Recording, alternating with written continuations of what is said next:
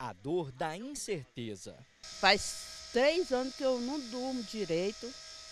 Fico me acordando e pensando o que está que tá acontecendo com ela, entendendo? Se ela podia estar tá viva, se ela podia viajando por aí, sabe? Em 6 de abril de 2017, quase três anos atrás, Fátima Gleciani, então com 27 anos, desapareceu na região do setor Garavelo, em Aparecida de Goiânia. Na época, a família registrou queixa no quarto DP da cidade.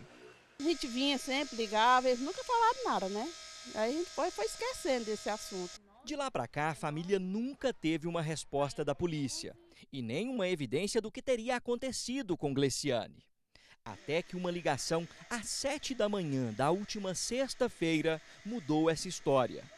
Um conhecido da família disse que recebeu um telefonema anônimo de uma pessoa dizendo que sabia onde o corpo dela estaria.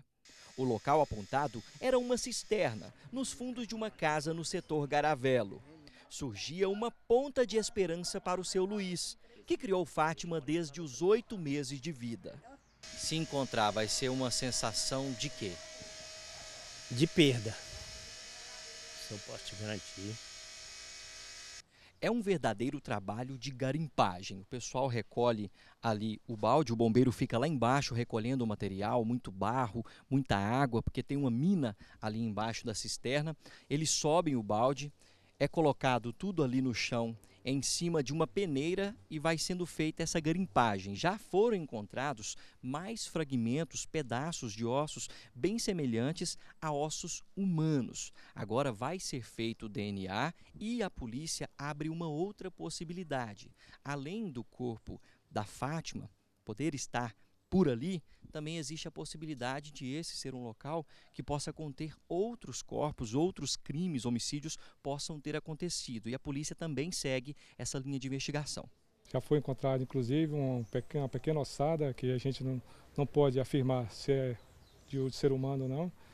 Mas o que é que nós vamos fazer a partir de agora? Estamos aguardando né, pessoal especializado esgotar toda a água né, para que fique só na lama, para que a gente possa fazer um trabalho de procura de mais ossos, no caso. A casa era ocupada por usuários de drogas na região. Fátima às vezes prestava serviço de diarista no local, além de também frequentar a residência em outras ocasiões. O homem que morava aqui na época morreu em julho de 2018, num acidente de moto. A mulher que morava com ele tomou paradeiro desconhecido.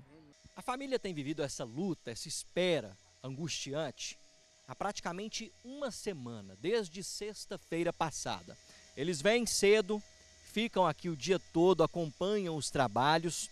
Aqui, ó, trazem até água para beber, porque não tem nenhuma estrutura aqui de água, de energia. Compram uma marmita, trazem, comem aqui. E assim vai ser até que essa história seja resolvida.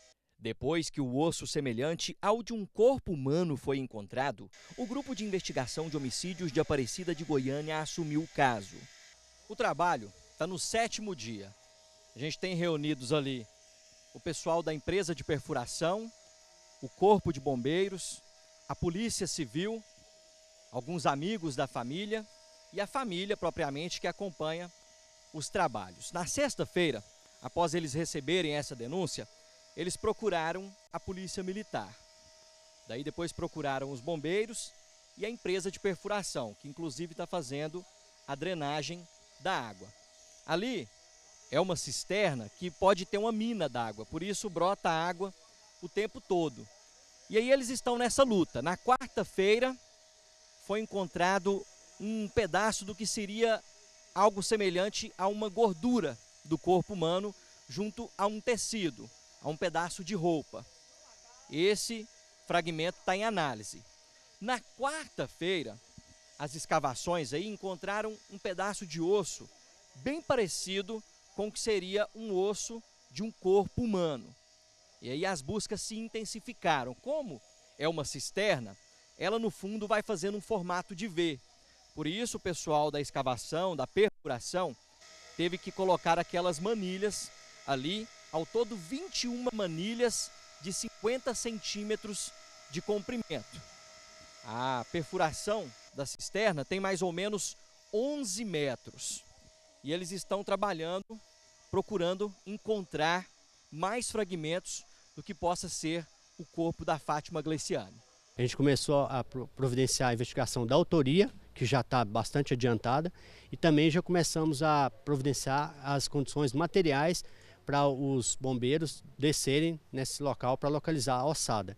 Fátima Gleciani hoje estaria com 30 anos. Ela tinha cinco filhos. A mais nova tinha só oito meses na época do desaparecimento. Desde então, a família vive uma grande tristeza e angústia. Nesse tempo, até hoje, os meninos não teve uma festa, né? Porque como são cinco meninos, se fazer para um, vai ter que fazer para todos.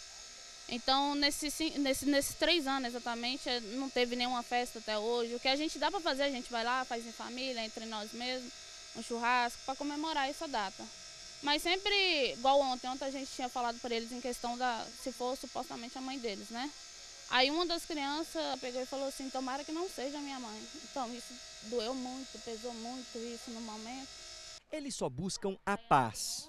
Se for dela mesmo, a gente vai dar um, fazer o enterro dela, dela, né? E eu vou descansar e ela vai descansar também, né? Resgatar os restos mortais dela e fazer um velório digno.